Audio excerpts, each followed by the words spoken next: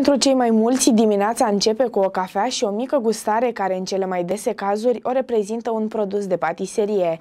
Mirosul de aluat, renumit proaspăt, scos din cuptor, îi cucerește pe cei mai sceptici cetățeni. România e țara covrigilor și a produselor de patiserie. Numărul de simigerii, covrigării, gogoșerii sau plăcintării din România a crescut de peste 6 ori din 2009 până la finalul lunii octombrie 2020. S-a ajuns la aproape 3800 de astfel de unități.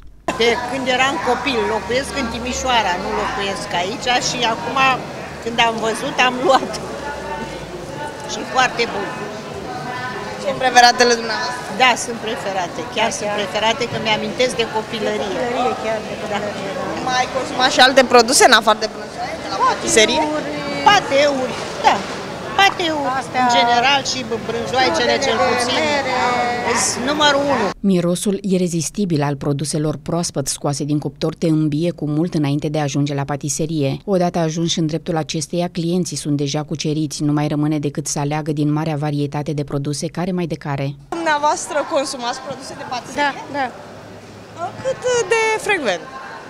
De câte ori am ocazia. De câte ori am ocazia, de atâtea ori. Pateuri, Astea sunt preferatele, strudele cu mere, tot ce e bun.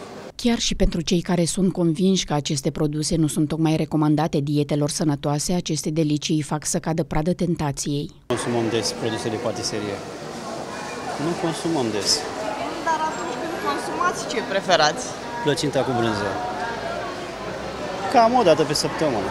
Tot mai multă lume alege produsele de patiserie ca gustări ale zilei. Prețul lor foarte mic atrage și un număr mare de clienți, vânzările de covrigi cel puțin fiind în număr de câteva mii de bucăți pe zi.